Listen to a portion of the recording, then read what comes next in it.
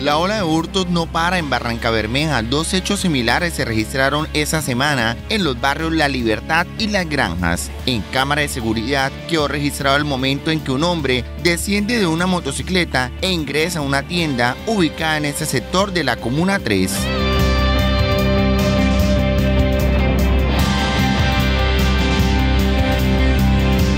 Se observa a varias personas alejarse del local mientras el presunto ladrón amenaza a la administradora de ese establecimiento.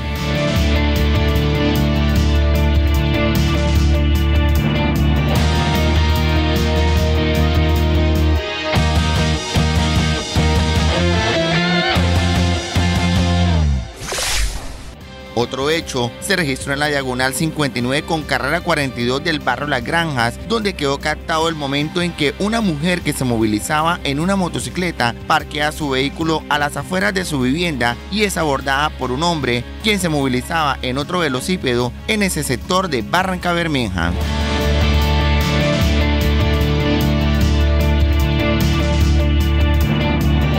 El hombre intimida a la ciudadana con un arma de fuego y le arrebata en segundos sus pertenencias huyendo del lugar. La comunidad asegura que tanto en horas del mediodía como en la noche es donde es aprovechado por los delincuentes para realizar ese tipo de hurtos sin que exista un control y patrullajes por parte de los cuadrantes de la policía en estas zonas.